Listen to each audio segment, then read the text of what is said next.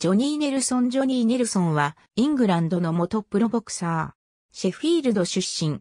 元 WBO 世界クルーザー級王者。ザ・エンターテイナーのあだ名で呼ばれている。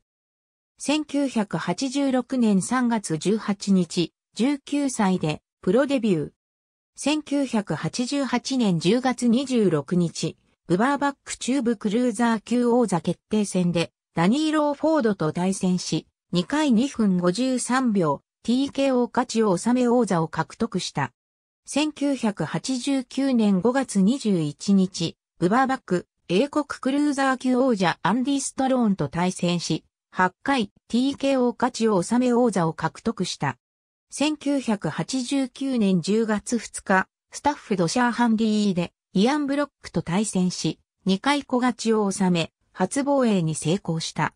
1990年1月27日、WBC 世界クルーザー級王者カルロス・デレオンと対戦。1から1の判定ドローで王座獲得ならず。1990年12月14日、エブ・オシュークルーザー級王座決定戦でマルクス・ボットと対戦し、12回 TKO 勝ちを収め王座を獲得した。1992年5月16日、IBF 世界クルーザー級王者、ジェームズ・ワーリングと対戦。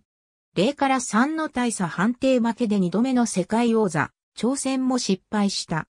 1993年4月30日、WBF 世界クルーザー級王座決定戦で、デーブ・ラッセルと対戦し、11回 TKO 勝ちを、収め王座を獲得した。1993年10月1日、ベルギーのワレヘムでフランコ・アンヤマと対戦し、10回失格負けを喫し2度目の防衛に失敗、王座から陥落した。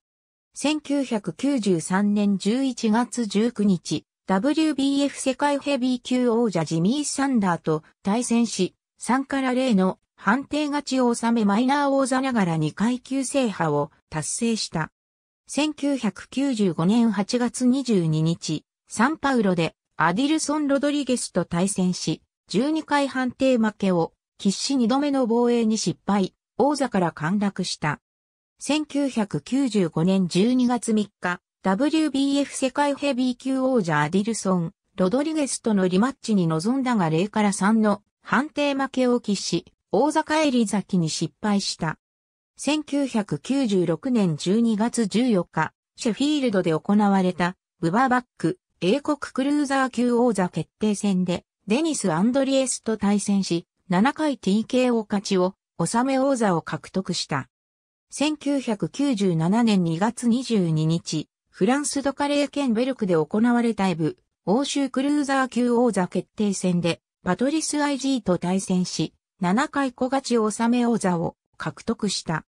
1997年10月11日、シェフィールドのシェフィールドアリーナでディルク・ウォーレンと対戦し、1回1分13秒 TKO 勝ちで初防衛に成功した。